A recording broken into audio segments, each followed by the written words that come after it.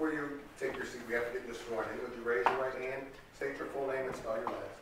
Nicky Borrero, B as in boy, O R R E R O. Do you swear or affirm under the penalty provided by law the testimony you're about to give this court shall be the truth, the whole truth, and nothing but the truth? Yes. Thank you, Ms. Borrero. Please take your seat. I'm going to ask that you keep your voice nice and uh, loud so we can hear you. Allow the attorneys to finish their questions before you answer, and they'll extend the same courtesy to you. All right? Yes, sir. Ms. Hutchinson, when you're ready. Thank you. Good morning. Uh, Could you just introduce yourself again to the jury? My name is Nicky Borrero, And Ms. Burrow, where are you currently employed? Petro truck stop in Bordentown, And what is your position? the general manager. Um, And by general manager, what are the areas that you oversee within the truck stop? Um, at the present moment, I oversee the fuel island and the travel store. Um, Now, how long have you worked at the Petro truck stop? Um, at this current location, about a year. Okay, and prior to that, where else did you work?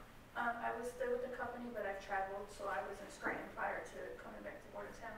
I've traveled to Atlanta. I originally started in Bordentown, so they sent me to different locations. Okay, um, but ultimately, is it all the same company that you're working for? Yes.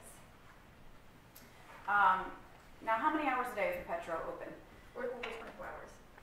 And um, in the convenience store area specifically, approximately how many transactions would you say take place per day? How many people are in and out?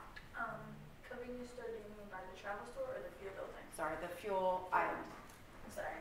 Um, fuel buildings, um, we do over 2,000 transactions, probably more, depending on the season, per day. per day. Um, now, drawing your attention to October 12th of 2018, were you working that morning? And do you recall what your shift was that day? I was working 7 a.m. to 5. Now, uh, did something take place in that fuel island store area at approximately 9:15 or a little before? Um, from around that time, my cashier was in the front of the store, and she came to get me back into, because I was in the office, and she stated that a gentleman stating that he was stabbed. And I told her, stop BSing me. She's like, no, seriously. And as I looked on the camera, I seen a gentleman stumbling on the side of the building, which would be the right side by pump seven through twelve. Um, he came into the store, came right back outside. So when I exit out the office and I went through that side of the door, which is pumps through seven twelve, he was stumbling inside and he was walking out to go towards the outside door, which was pumps one through six. Okay, now how many doors, how many entrances or exits are in this, this store area? Um, we have three, one for the employees and then two for the customers. So two for the general public? Yes. Okay.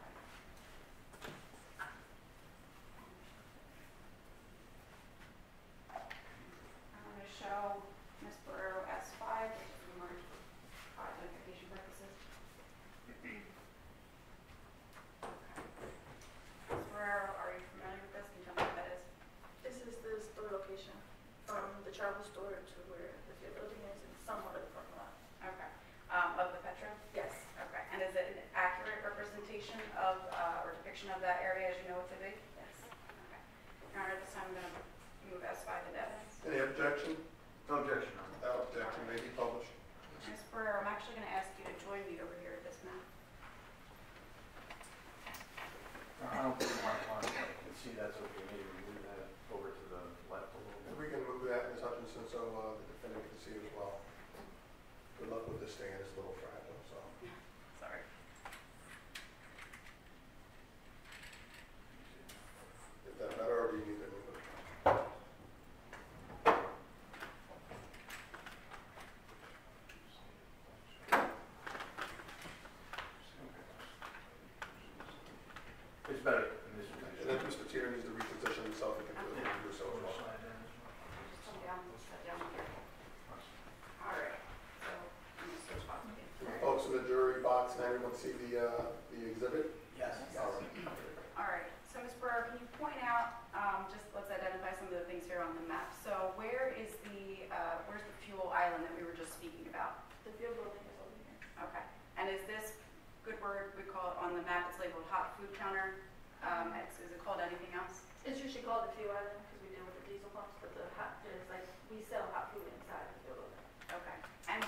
did you see the man stumble in?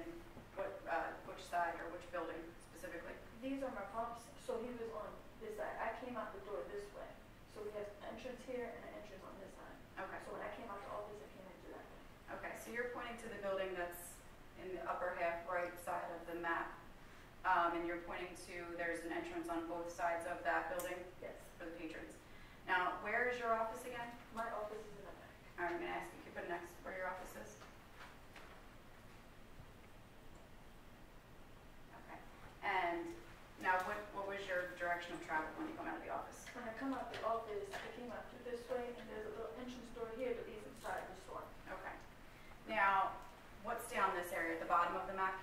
Here, uh, the bottom left-hand corner of the map, what is, what is that area? So back here is the back entrance to the travel store.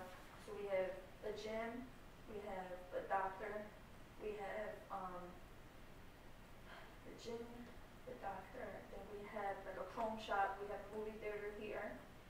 Then we have another entrance on this side. So we have a Arby's, this is, this is the travel store, and then you have the Iron Skillet and another entrance here that leads to the back. Okay, so the iron skillet is at the bottom of this building, so closer to the bottom left-hand portion of this map as we're seeing it? Yes. Okay, down here. Um, now, is this a fair representation of how many trucks are generally parked in the area? Um, oh, way more, so, yeah. Way more than this picture? Yes, because we have, the way that the parking lot is, I have parking spaces all the way this way, and the parking spaces all the way that way, all the way around. So it's, we're constantly filled with trucks. Okay, is it fair to say that this is just a small picture of that area? It's actually a lot bigger? You can just your seat, just be careful. Thank you.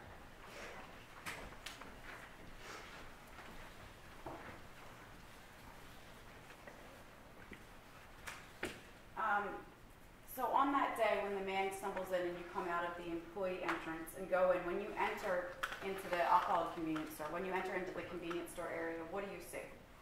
I see the gentleman outside the opposite door, and he's holding on to the, the metal handle of the door. And I was trying to, like, try to talk to him, to try to get him down, to loosen his grip, and he wouldn't loosen his grip. So I was screaming for somebody to help me. So one gentleman came to help me, and I'm screaming, can somebody help me put him down? And he, he has such a strong grip, I even tried to loosen up his fingers and could not do so. So what happens next? Um, once able, once I yelled at somebody inside the store to help me lay him down, I screamed inside the store to get me a jacket and give me rags to apply pressure on the gentleman's wounds. Okay. Um, now, at some point, did someone also call nine-one-one? Um, I believe Jen was on the phone with 911. I was in the process of calling, but I put my phone away and I screamed, somebody call 911 and I seen Jennifer. Um, did you ever learn this man's name, the man that stumbled in? I don't, when I was speaking to him as he was on the ground, I couldn't make out his name. So I don't remember exactly what he said his name was. Do you know it now to be Paul Stevens? I do now, yes. Um, now, as he's lying, once, once he's on the ground now, where is he? He's on the side of one through six on the concrete, like I had him laid out on the sidewalk. So he was, we were basically blocking the door from pumps one through six. Okay, can I just have you show again on the map exactly which side you're speaking to? We were on this side here. Okay, so the right side of the building, which is in the right half of the map? Yeah. Okay, thank you.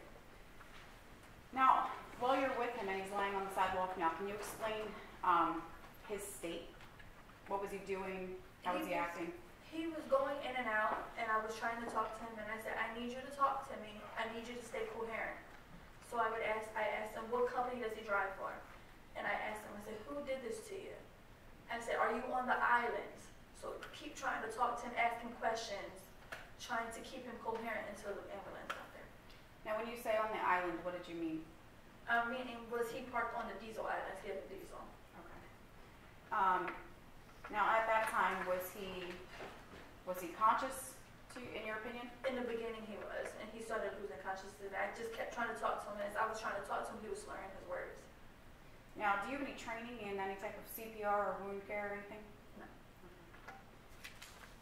Um, now, at any point, did you attempt to kind of cut off the traffic from coming in and out of that store? Yes.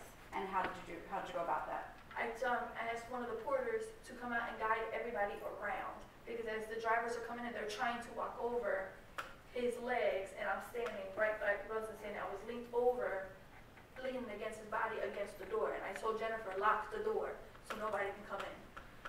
So even after you lock the door on the one side, are there still patrons going in and out of the store on the other side? There was quite a few, of the drivers, yes, Um, now, at some point, uh, did an ambulance arrive?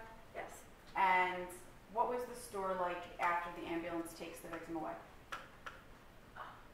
Um, a mess. I mean, I had somebody come outside and I said, I need you guys to clean this blood up here so we can enter, so we can get this back open over on this side. Cause we were, we had double trucks on each island and it was so busy that day. I said, I need you guys to hurry up so we can get this side open. Okay, so it was at your direction Yes, that the porters began to clean the blood? yes. Um, now, at some point, did someone stop them from cleaning? Mm, no, because by the time, is by the time the ambulance, or excuse me, by the time the detectives came, the one side pumps one through six was already cleaned up. Okay, and when you say pumps one through six, are you speaking about where he was laying on the ground? Yes. Okay, so that was completely clean? Um, basically, they just had hot water and scrubbed, they had a scrub brush and was just scrubbing it. Okay. Now, you spoke about the blood being inside too. Can you explain to me where it was? The blood, there was blood trails on the floor and there was blood on top of merchandise. I had beef jerky that the gentleman had dropped on the ground as he was walking through. Okay. Um, have you ever had a stabbing at the truck stop before? The, So was it at the top of, the forefront of your mind to think about a potential crime scene? Objection to we, Oh, your name's not. I'm sorry, can you repeat the question? Sure. Was it, uh, was it on your mind to think about any type of a potential crime scene? No, Um, now, is there video in the Fuel Island, or I'll call it convenience store area? yes, And, uh, does it record? yes, And is it constantly recording? yes, And do you recall, was it recording on October 12th that morning? yes. And uh, do you recall who pulled the video off of your system and turned it over to the police? I was there along with Rosario. He's the one that, he we basically helped the police put it on the video, Okay. put it on USB drive. So you were present when that took place, though? Yes, And prior to coming here today, have you watched the surveillance video? one time.